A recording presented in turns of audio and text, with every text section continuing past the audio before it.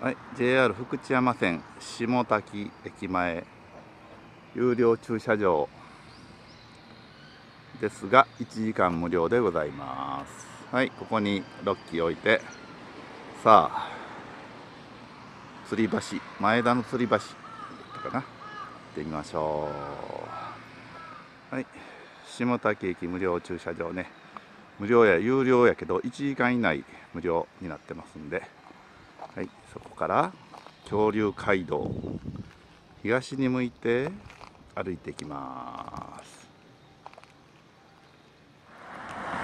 恐竜街道沿いにね駅から歩いて東へ向いて歩いてくるとここに吊り橋の小さい看板があります。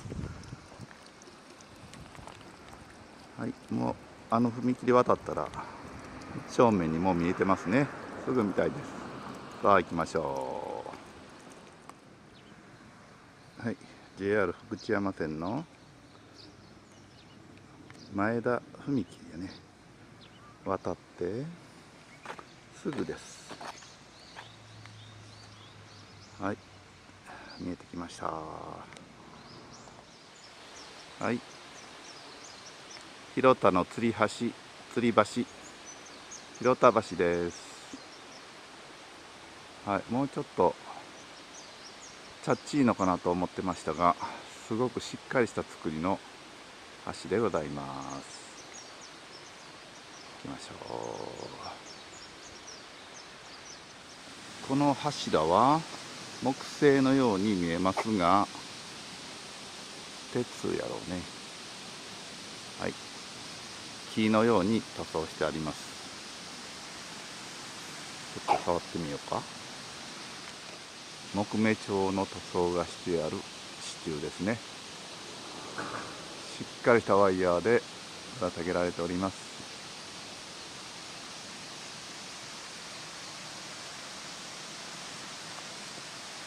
ちょっと渡ってみましょう。はい歩くと結構揺れますね。はい。笹山川加古川の支流やね。この上が恐竜が発見された場所上流になりますはいそして広田の吊り橋からこっち側が下流側加古川を通って瀬戸内海に注ぎます。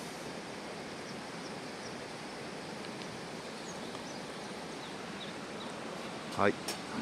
観光用の橋ではなくて普通に地域の方が通られる橋のようですね。しっかりと、ね、かなり頑丈なワイヤーでこれスタッカーと向こうがこれが上の支柱やね。支えのロープ。はい。しっかりした橋でございます。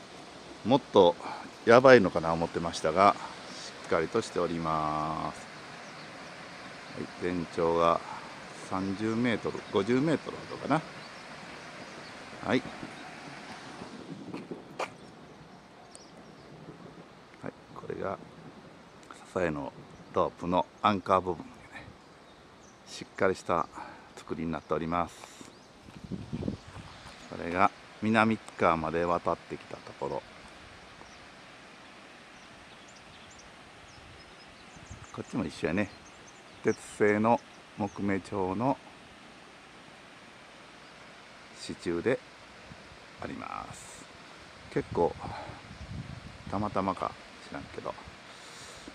はい、えー、見学の方来られております。